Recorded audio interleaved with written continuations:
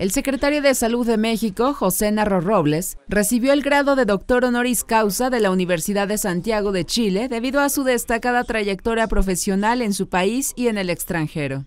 En un acto realizado en el Salón de Honor, el rector de esa casa de estudios, Juan Manuel Soletzi, le impuso a la autoridad mexicana la medalla Universidad de Santiago de Chile en su categoría dorada y le entregó un diploma que certifica la distinción. Quiero recibir este reconocimiento como una muestra del aprecio de nuestros pueblos, como una expresión del vigor que históricamente han tenido las relaciones entre los dos países.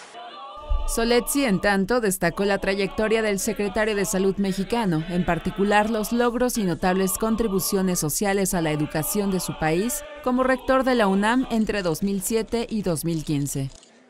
Que reconocemos en usted a un par, al académico visionario y al médico prestigioso, pero además a una persona que ha sabido entregar sabiduría, calidez, cercanía y respeto hacia todos como una forma de vida.